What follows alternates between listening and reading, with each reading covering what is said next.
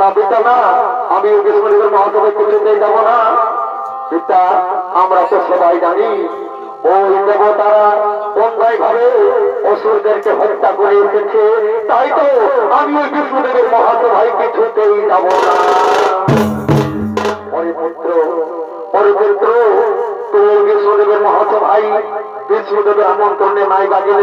সেখানে তুমি আমার আদেশ অনুযায়ী যাও।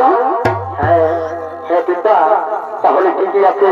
সেই বিষ্ণুদেবের মহাসভায় আমি বিষ্ণুদেবের আমন্ত্রণে নই, সেখানে আমি আপনার আদেশ অনুযায়ী যাব। আমার আশীর্বাদ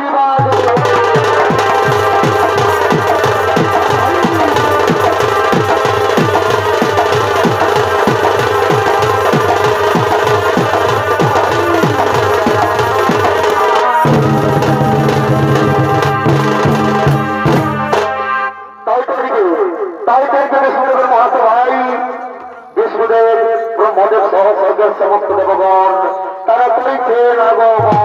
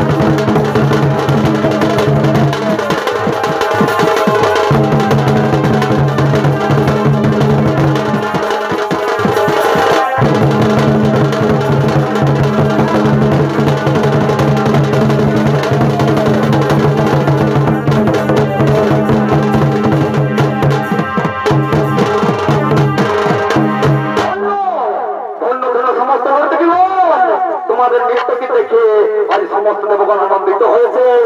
এরপর যাও তোমরা নিজে নিজে আলোকে ঘুরে যাও। আমরা কিছু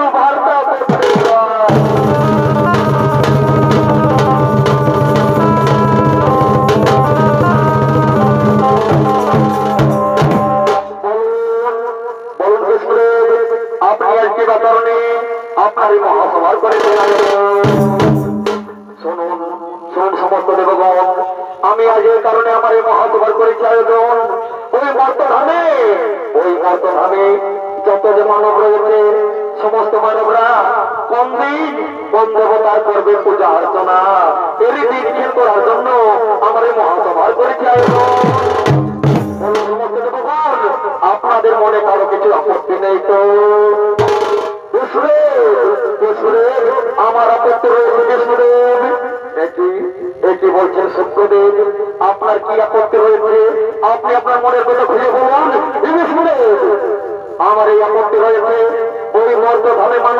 কাছে যদি দেবতারা পূজা পাই তাহলে অসুরা পূজা পাবে না কেন? কি বলছেন সত্যদেব আপনি? আপনি কি জানেন?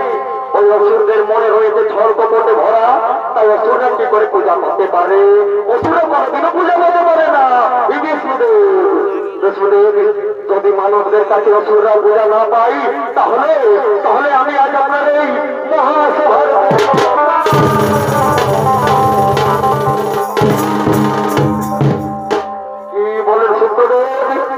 আপনি আমার মহাসভার করলেন পুরস্কার। তাহলে ঠিকই আছে যান আজ থেকে আপনার দেহ থেকে দেবত্ব ছাড়া হয়ে যাবে। আপনাকে সারা বিশ্ব অসুর গুরু সূত্র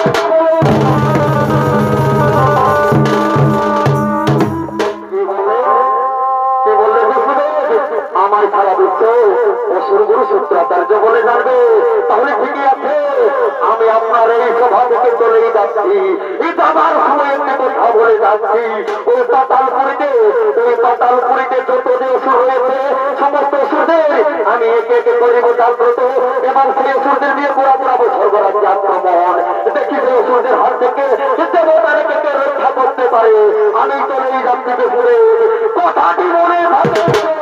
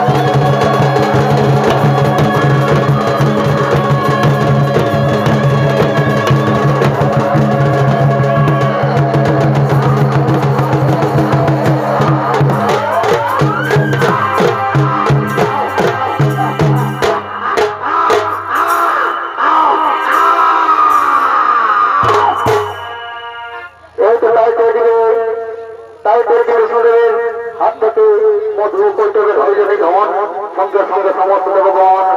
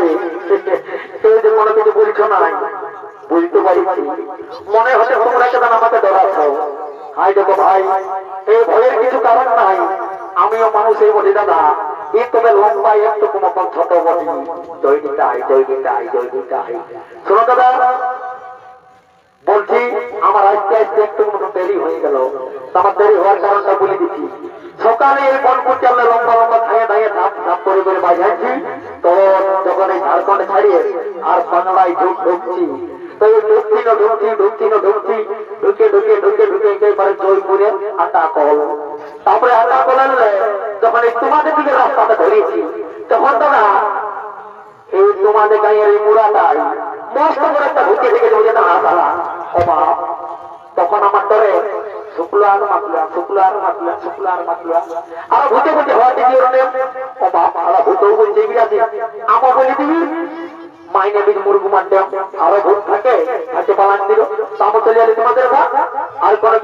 দেরি করব একটা ঝুমুরি আনন্দ করতে করে করে সবাই ঘর চলে যাব। কেমন?